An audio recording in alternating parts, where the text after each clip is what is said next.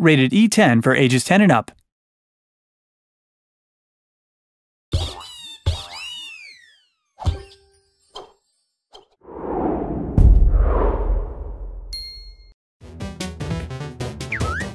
Ah!